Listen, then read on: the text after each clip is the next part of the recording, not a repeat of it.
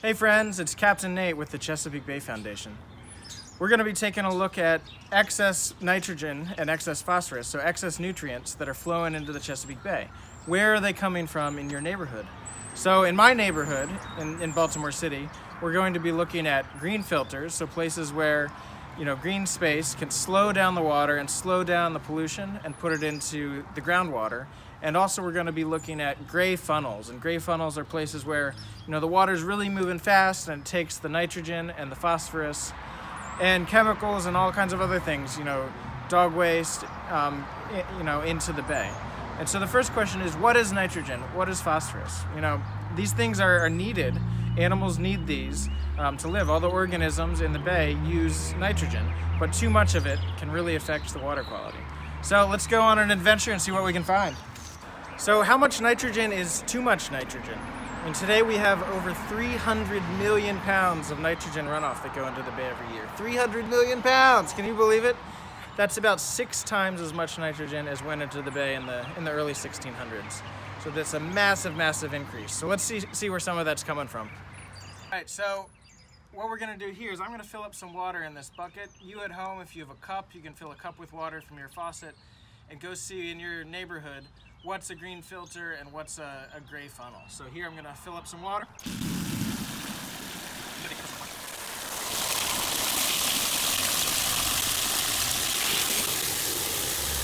All right, that looks like plenty of water for, for the start. We've got lots of water to take with us. And you can see we've got some dirt floating around in there because I use this for my garden. So that's perfect. We've got nitrogen and phosphorus in this bucket and we're gonna see where it runs off.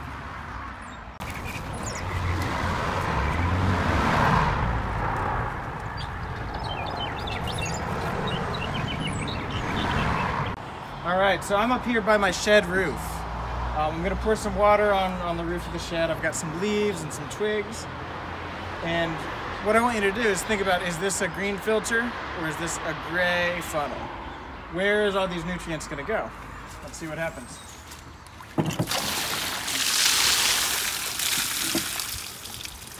So we can see down here, the water's starting to run down and it's going into my grass and it's slowly, slowly absorbing and hopefully it's not going to run off into the bay.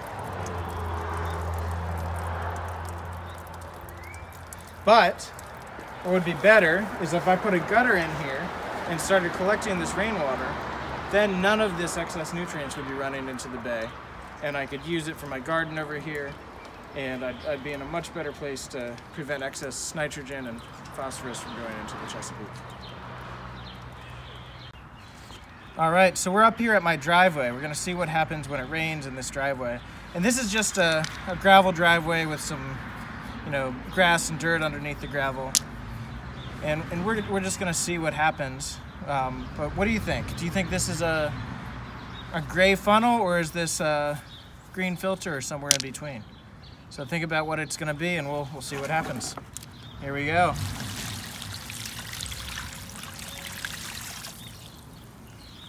You can see pretty, pretty quickly it's dissipating. Maybe if we had lots and lots of rain, it would run off, but hopefully this water here is going to go into the groundwater through the green filter, and, and we're going to be in, good shape in terms of excess nitrogen in the Chesapeake. All right, let's go check out the next spot. Come on. All right, friends, take a look at this clover here. Look how tall these clovers are. I'm gonna pick some for you. Fairly tall clovers. But where I am is actually filled with native wildflowers. And in about a month here, we're gonna get wildflowers that are coming up this tall, and in the summer we're gonna have really, really tall native wildflowers. And what do you think? Is this gonna be a green filter or a gray funnel? Let's play, pour some water on this, uh, on this clover here and, and see what you can find. Would you uh, mind bringing the camera over so we can see the water coming in and seeing if we can, if it goes down. So maybe a close up right here of the water. All right, friends, let's see what we can find. Just going into the bay, bringing nitrogen, or is it filtering this water, slowing it down, putting it in the water? Can you see it going anywhere? Let's go down here a little bit, see if it's going. Got a little bit of it here, a little bit of it going but it's slowing down right about there. and I don't see any more of it. So doing a little bit better than some of the other places we might find. All right, let's go on to the next spot. All right, we're gonna take a look at the sidewalk. Is this sidewalk a green filter slowing down the nitrogen? Or is it going to be a gray funnel taking all of this nutrients here into the Chesapeake Bay? All right. It's not slowing down at all. Whoa.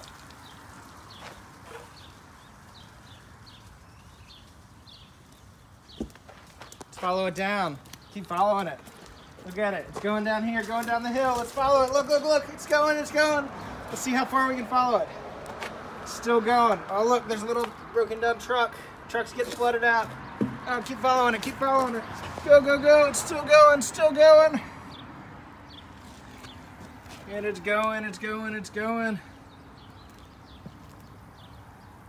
And still going for days into the bay. So, given that water traveled so far on the, the concrete, on the sidewalk, we do have these storm drains with the roads. So, where do you think the water travels when it goes into these drains? Where would it go? I mean, here we also see plant material. We see trash. Where do you think all this trash and all this, this nutrients is going?